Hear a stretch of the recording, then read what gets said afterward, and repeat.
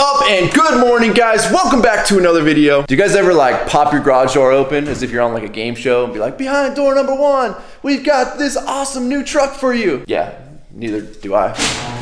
But behind door number one let's see what truck we are taking today. You can probably already tell by one of the wheels there. Today is the day we are taking the LLY. Now, I actually haven't driven the LLY since we got it weighed and fully registered here in California.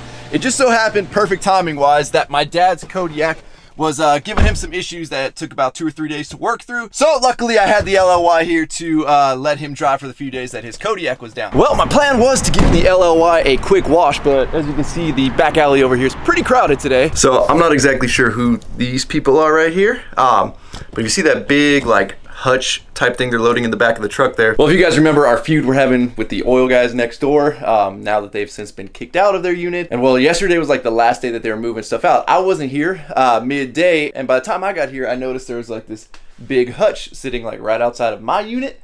And I'm like, huh, I wonder if it's like some dudes that were just dumping trash in the back that I caught when I first pulled up, or if it was the neighbor next door to me that I actually do get along with. Like, I wonder if they're just moving some stuff out because it was kind of in between mine and his door. Then I remembered I got cameras all around this place. So I watched the cameras, and sure enough, the oil people next door were moving out their last big pieces of furniture. So the oil guys decided they didn't want to dispose of it, so they were going to put it in front of our door and make it our problem as they were on their way out. Well, obviously, we aren't going to let that happen. So last night, I moved it over, put it in front of their door, blocking their door. And I'm assuming when the uh, property manager showed up and saw that, they hit them up and somehow they figured out how to get it out of here for somebody to come pick it up. I don't know.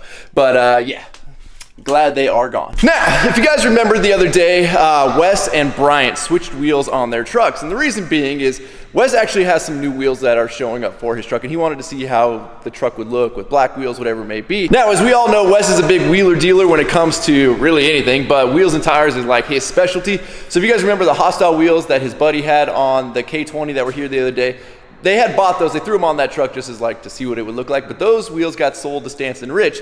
Meanwhile, the tires came off because they are essentially brand new uh, Nittos over here. So Wes sold the wheels, kept the tires for his truck, and he's got new wheels that have just shown up today. So Wes came in clutch yesterday, saved me. The OBS, his uh, starter went out when I was at the gym. Luckily, I was able to get it started, go pick up a starter, come to the shop, and Wes helped me swap it last night. So I definitely owe the guy, and the least I can do is load up these tires and take him and meet him at the tire shop because I haven't even seen the new wheels that are going on his truck, and well, I guess we're all gonna see them together. Now on the LLY, if you guys see this little rod in here, this is like a torsion rod that really makes the tailgate pretty light on this truck as opposed to, you know, not having the torsion rod on it. It doesn't really slow down the descent. I mean, I guess it does a little bit, but I don't know. I, I don't know exactly where the previous owner got that but it's a nice little touch instead of having like that big spring or I know they make some that are like a shock mount that attaches right there. I like that this is very discreet. And I'm glad we're moving just tires today because tires and wheels are stupid heavy.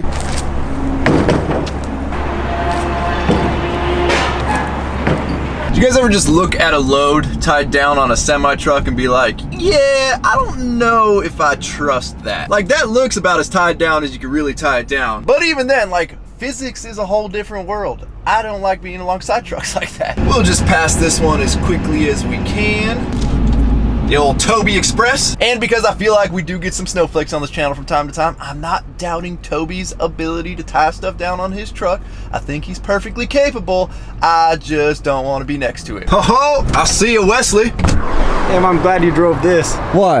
Because it would have took you an hour to get here in the Ford. Oh, get out of here. What are we doing? Everybody's having lunch right now? I don't want to interrupt. So, well, this is what Wes's truck. Can move that out of the way. Let's show them what your truck looks like with well, Bryant's these, wheels yeah, and tires. Okay, Bryant's. These ain't my little dinky wheels and tires. So it's funny when when Wes put these on. I don't. Uh, you didn't see him, but Brian actually came over and took pictures of how much tread he had left because he didn't trust you. Because he figured you'd be roasting it off because you're borrowing his wheels and tires. I'm not borrowing his. He's borrowing mine. Uh, uh well, he polished yours for you.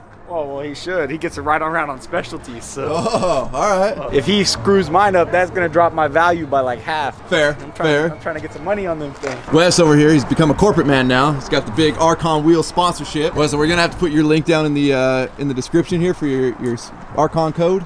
Yeah, of course. Drop down a menu SoCal underscore 6.2 on the oh, custom there's a drop down and menu? Archon. Yep. Dang, you big time, dude. Hey. What's it like?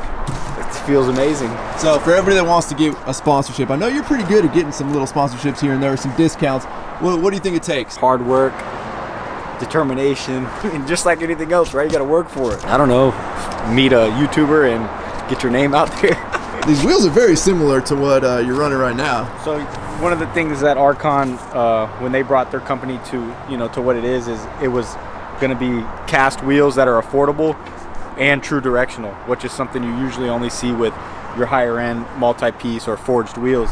And that's never made sense to me because if you see directional wheels, they look really stupid when they're the wrong direction. So most directional wheel companies or most cast wheel companies, they only want to make one mold. So they're all facing the same way. So half of your truck's going to have the directional wheel facing the correct way, and the other half's going to have them the wrong way, which doesn't make sense to me. If you're selling thousands of wheels, what's it cost to make one more mold in the proper orientation? The cool thing about Archon is they do make true directional wheels, so you do get two per side, and they have essentially a forged wheel look to them which is something I've always liked when uh, Brian showed up with these. Yeah, they, they do the exposed lug nuts instead of a big gaudy center cap. I think they actually coined the phrase proper directional is what they use Ooh. for advertising instead of true directional. Well, let's they see what we got going on. Let's let's, let's check them out. I mean, we've already got one unwrapped here. I guess we look at the the first unwrapped one. So I think this is their newest model. This is the Caesar. It's a, it's available in the black machine and then the chrome. I actually wanted the chrome, but they were a few few more weeks or months out on shipping. So I actually I ended up going with the black machine because I, I do like black machines. so, like I was saying, these are these are very similar to what he's got on there now, which are Brian's wheels.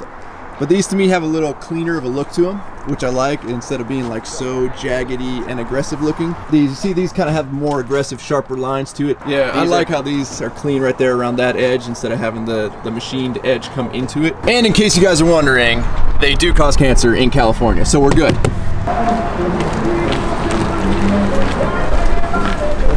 That's what you need, Wes. That's 24 by 16. 24 by 16? That's a big old crack. He, he off-roaded this thing. It's a long travel on the Escalade. Uh, you guys, uh, I'm gonna be kind of nice because he works here, but you guys may have seen this Escalade on my Instagram years ago, and if not, go back and uh, check this thing out. This thing has been through the ringer and back. It's got a full crazy dual coilover suspension setup on it.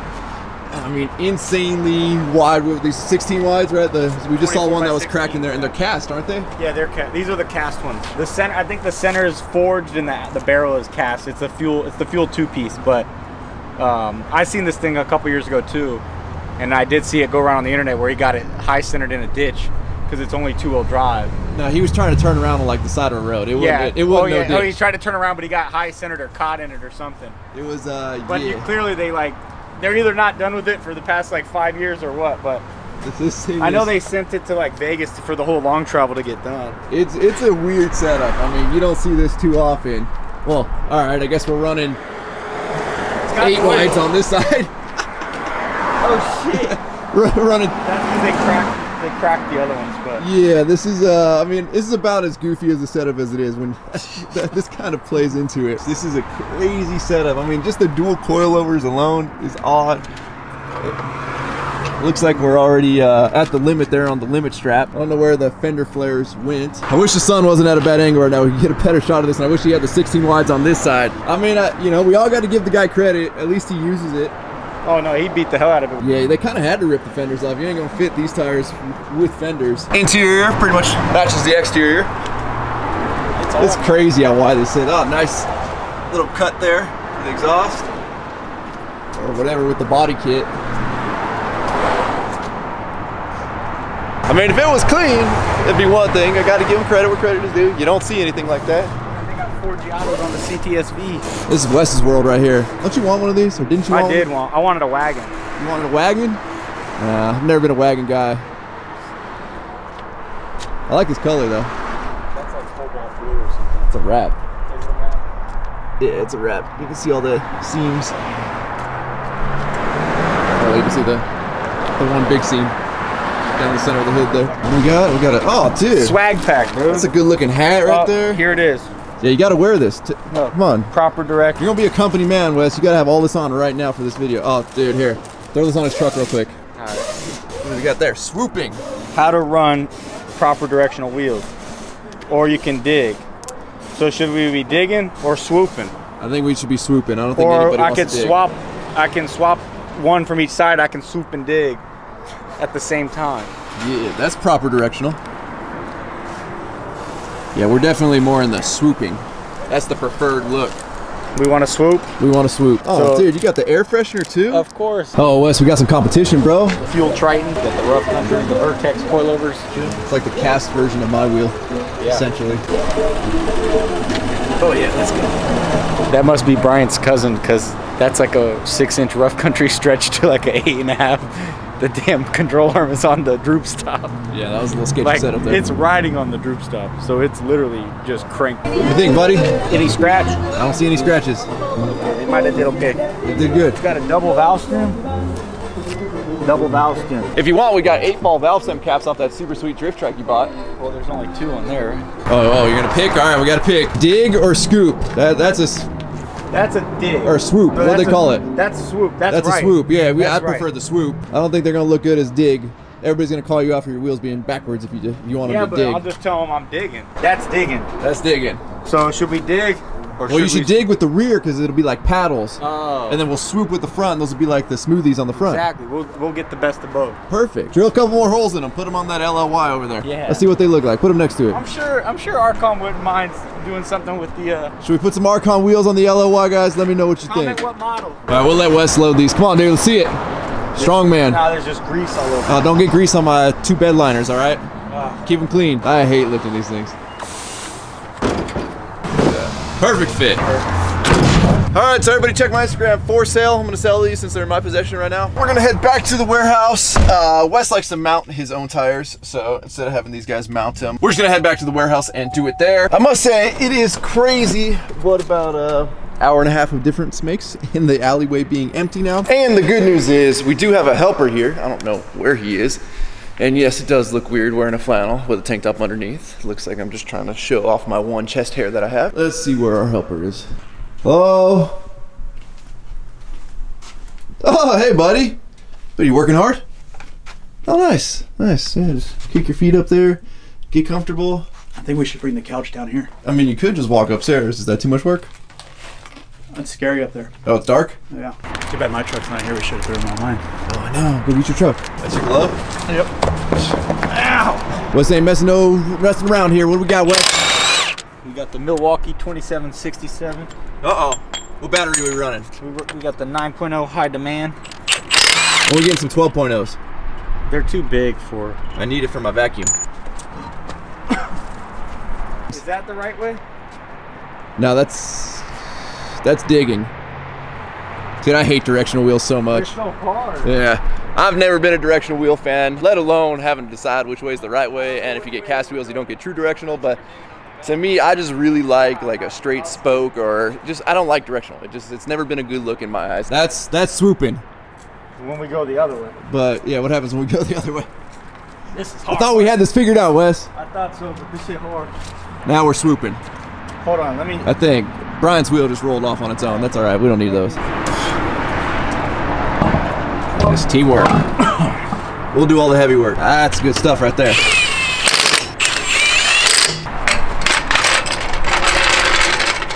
Oh man, this digging, not scooping. Is it wrong? Yeah. No, it ain't. let me get the handy dandy card out. Yeah, we need the card. You're good. Nah, those are swooping. You're good. How's it like? Does it compare? That's right. Oh yeah, we're swooping. That's how you know Wes has made it, guys. We got a live stream, the wheel install for his buddies over at Archon. Chris, we seriously have a couch upstairs, and you, you sit in the weirdest spots. What are you doing? You're like a bird. You just like to be up high. So we're gonna have Brian's wheels left here. Anytime anybody's been leaving wheels and tires here, I've just been posting them on my Instagram for ridiculously cheap, just to have everybody blow up their Instagram. So if you guys see like an amazingly cheap deal on stuff that I don't own, it's probably not real, but you should still blow up their Instagram. So we're gonna do that right now with Brian's wheels. Nice picture there. For sale. What do you guys think? What, what price should we put these at, Chris? Yeah, 300 bucks. 300 bucks? We'll do 299. It looks better.